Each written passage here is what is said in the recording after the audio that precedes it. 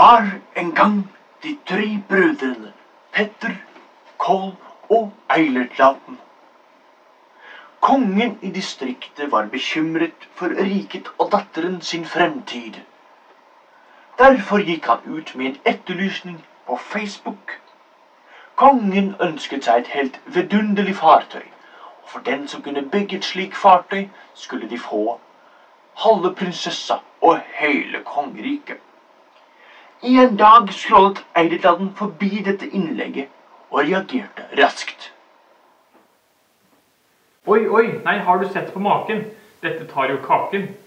Dette må jeg gjøre, men først må jeg med min familie høre.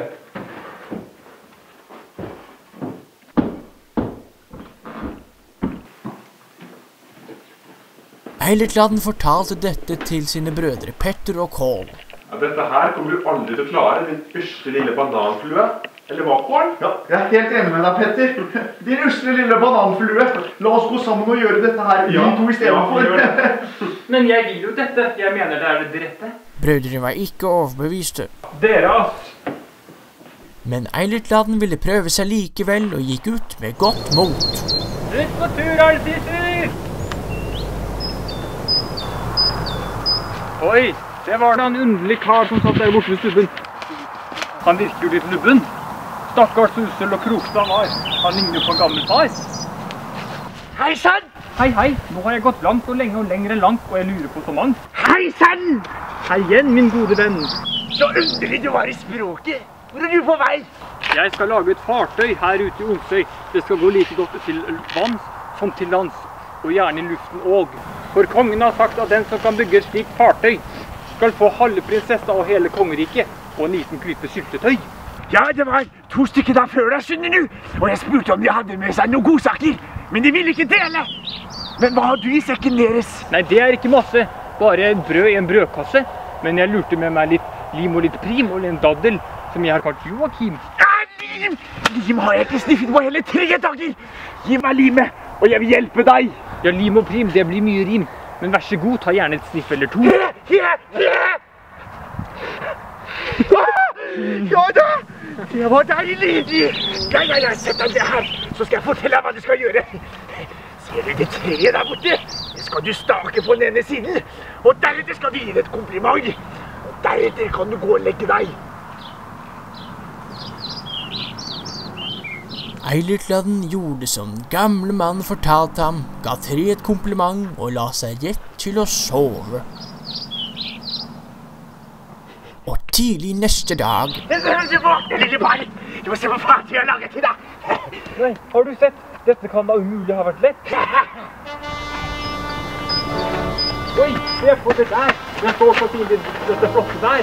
Og så fine valører. Å, en far som skal faktisk kjøre. Ja, du må huske å ta med alle sammen som du møter på din vei. Ja, så dra nå. Eilertladen takket den gamle mannen og satte seg inn i bilen med kursen rett mot kongsgården. Nei, nei, se, hvem er det? Sitter han der og lager en atombombe? Nei, han spiser visst bare brød. Kanskje han er i nød.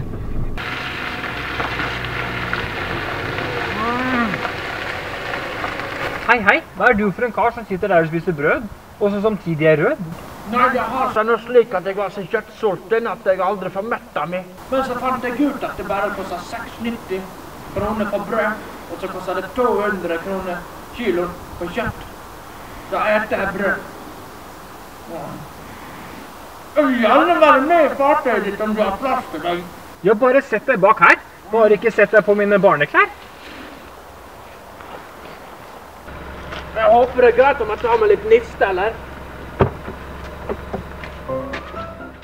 Den sultne mannen satte seg inn i bilen, og turen kunne fortsette videre. Ser du noe? Er det Asbjørnsen og Mo? Jeg ser en mann der borte. Han hopper og spretter, og det kommer seg ikke av flekken. Det ser ut som han har noe festa til benet. Hold deg fast, så kjører vi bort til ham i en hast. Oi, hei, hei. Hva er du for en som står der og slenger med dine ben? Og hvorfor har du en lås til benet ditt? Er du en satellitt?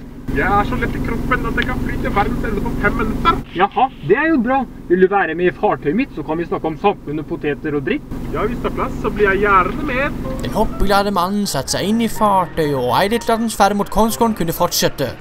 Neimen, se der borte. Det er jammen meg en mann som ser ut som en potet og sitter og holder seg for munnen. Men la oss kjøre dit. Kanskje han har lyst på den gamle mannens hjemmedyrka sprit? Hei, hei. Hva er du for en kar som ligger og holder deg for munnen der som min oldefar? Jeg har vært på fest i hele helga. Jeg har aldri drukket så mye alkohol før i hele mitt liv. Jeg har drukket syv flasker vodka og tolv flasker sprit. Jeg får dem for munnen slik at det ikke skal komme ut samme vei som det kom inn. Men hvis du har plass på det fartøyet, vil jeg gjerne sitte på. Ja, bli med, så drar vi til et annet sted.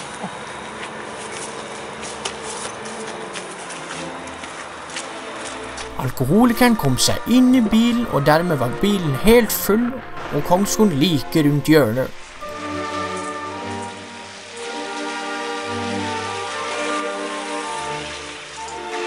Hoppsann, heisann, susje, sveisann, der feisann. Her er fartøyet du vil ha, og denne vil jeg at du skal ta. Den går like bra til lands som til vanns. Og nå er kongsdattera mi Nei! Jeg har en kjøttbånd som jeg gjerne skulle ha tømt. Og hvis du klarer å gjøre det innen i morgen, så er halve Kongsdattera og hele kongeriket ditt. Nei, dette er juks. Jeg begynner kanskje å grine. Ja ja, jeg får vel ta med en av kameratene mine. Ja, gjør det. Ta med alle tre om du vil. Og gjerne 300 til. Kongen, Eidetladen og hjelperne hans spaserte dermed opp til kongens kjøttbod for å se hva de hadde å gjøre med. Eidetladen og den kjøttsultne gikk inn i boden. Kongen lukka lattermildt igjen døra, mens resten av hjelperne sto der fortvilet. Ja, skal vi sjekke om de har klart å spise opp alt kjøttet nå? Nei, så sannelig! Her har vi spist opp alt kjøttet jeg hadde. Nå har jeg ikke sett maken. Ja, nå er kongsdattera mi hun som er så fin. Nei! Jeg må hente sushi til min prinsesse helt fra Japan! Og det på under to minutter! Men jeg får vel lov til å ta med en venn. En som er like rask som Petter Northug på skirenn. Jeg gjør det! Og ta gjerne med alle sammen om du vil!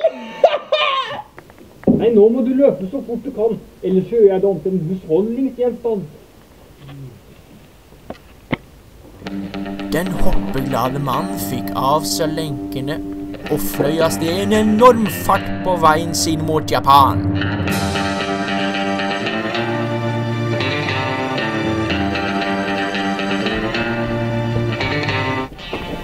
Her har du kukken som etterlyste. Og som du kan se, er den laget i Japan. Dette er jo helt uvirkelig! Nå er vel kongsdattera i mine hender ved hjelp av mine skuespillervenner. Nei! Jeg har da noe mer på lager! Nå må du ta deg sammen. Nå har du spurt om nok. Nå må de gi fra deg prinsessen sin lille rimemannen. Ok, greit da. Hvilken del av prinsessa vil du ha? Og dermed fikk Eilert-Gladden hele kongeriket og halve prinsessa akkurat sånn som fortjent. Og snipp, snapp, snute, så var det eventyret ute.